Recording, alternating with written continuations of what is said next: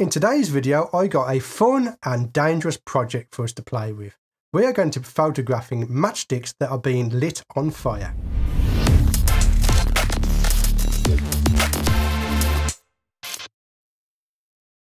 Now in this video we are going to be playing with fire so again take precautions you don't want to burn any of your equipment you don't want to burn yourself and again use ventilation so you can get rid of the fumes. I am not responsible for any damages or injuries that you cause yourself by following along with this video. I am not telling you to do this, I am merely showing you this creative project. So for us to do this project we are going to need a few things but I am going to keep it as simple as possible so I'm not going to be using any advanced hardware so apart from your camera, we are going to need four things to do this. We're first of all going to need some matches.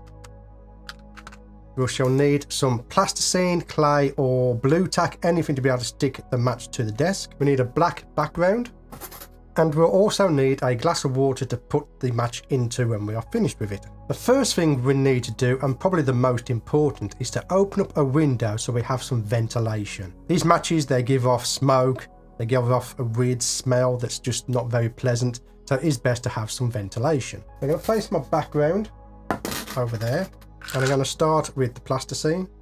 Now my plasticine is quite cold, so I'm going to need to warm it up. So what I'm going to do is just rub it around in my hand, warm it up, and we are going to stick down onto the desk. Once we've done that, we're going to take a match, and then we are going to put that match into the plasticine. And as for setting up the scene, that is literally all we need to do. So you can just photograph the match as it is like that if you wish to, you can also add objects to the match, just like this image here of a jumping spider on a match. This is the image from my pro tutorial called the complete shot jumping spider on a match. In this tutorial I go over the entire creation process from start to finish, including the handling of the jumping spider, the scene setup, the photography and the post-processing in Lightroom and Photoshop. If you're interested in seeing how that image was created then head over to my website at stewartwood.com and check out the complete shot jumping spider on a match.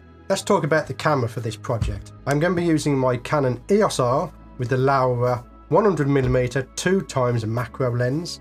Fantastic lens for macro. And I'll be setting it all up on my tripod. This is my ST224 tripod fantastic little tripod. Now what I want is I want my camera to be level with the match. So I'm going to have to lower it down a little bit and just get it completely level with the match. Right, so I'm going to focus on the match now. What I want to try and aim at is something like that where the match is basically up to halfway the frame because remember we're going to have the flame coming up so we need to have room for that. There we go.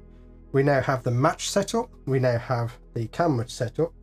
One more thing we want to do to make things just a little bit easier is to plug in a shutter release cable. So that will enable me to take the picture without having to get my hand underneath to the camera back here to hit the shutter button, which is basically hidden by the desk. So I can just sit here, press the button and take the pictures that I want. Now, if you're doing this at home, you might want to add an extra video light just as a backlight or a side light to this. I don't have to because I have my video light already on and I have all these lights all around me. If you find it's a little bit too dark, then that is an option that you can do. Do you want to add a black background? So just simply put in a black background in the back like that. So I'm just going to place that in the background. You will find that that background will be nice and black. Okay, let's set up the camera. Now for this, we want a high shutter speed. We want to freeze the action, but we also want a high frame rate. So we can't use a flash if I attach a flash to my Canon EOS R, it will drum down the frame rate to about 3 frames a second and we are going to miss the action. Now for that what we want to do is just to increase our shutter speed. I'm going to go to about 4000 and these are just ballpark figures that we're starting off with. We can adjust these afterwards. My f-stop I'm going to set that to 5.6 and the ISO is going to be at 800. So ISO 800. You can see how dark that is now that's going to get lit by the match. Next, I want to come into my drive mode and I want to set to a high speed continuous. So now when I press down on this button, we're going to get a high speed continuous burst of images that we can put into our computer and edit later. But now what we want to do is deal with the match. So what we want to do, and I need to explain this before we do it, but I'm going to light a match, a separate match with my left hand. With my right hand, I'm going to hold the shutter release cable. And then as I place the match close to the one here, I'm just going to press my finger on the button and hold it down until we get all the frames that we want. Now I'm going to have my water standing by so I can put the match into the water when I'm finished with it. So here we go.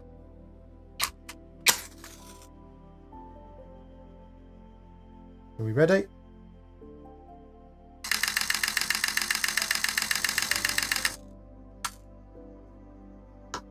Go. So that's fun. That is fun. Just don't burn yourself, okay? We're going to do another one. And for this, because we've changed the match, we need to redo the focusing. So what I need to do is just bump up my ISO so I can see what's happening. Redo my focusing. Then bring back down the ISO.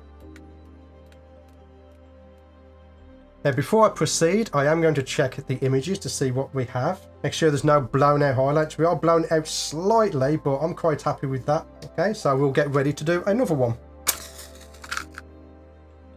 Okay, we ready? Here we go.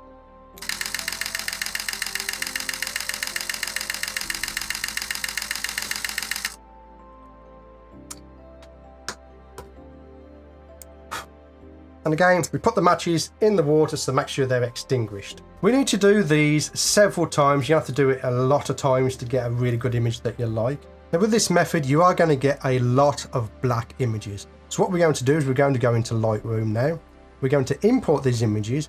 For every image that is black, we're going to untick so that it's not imported into our library. So here are the images from this photography session. All these images have been edited in Lightroom using my macro presets and I have used my macro assistant actions for Photoshop to polish up the image. If you're interested in my presets or the macro assistant, then go down below in the link in the description. You can get presets and macro background textures from my website. If you want to have a look at the macro assistant, then please take a look at my Patreon community. So to recap, for these fantastic images, all we needed was a box of matches, some plasticine, a black background, and a glass of water to put the matches in.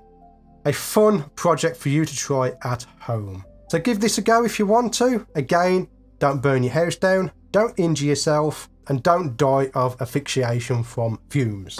Always open up a window for ventilation. If you want to show me your images, then tag me on social media. I'd love to take a look at them. I want to thank my Patreon community for helping me to bring you this free content, but that's where I shall leave it. My name's Stewart Wood. I'll see you on the next one. And we'll need a glass of water in I always get tongue-tied all the time. I can't speak English. Maybe bad English. Once we've done that, we're going to take a match out of our matchstick box. A Bit obvious really, isn't it?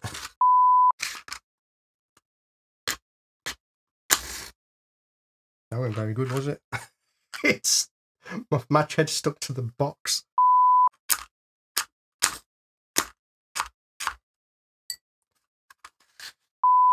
Swan matches used to be a really good make. Now I just think they're the Vauxhall of the match world.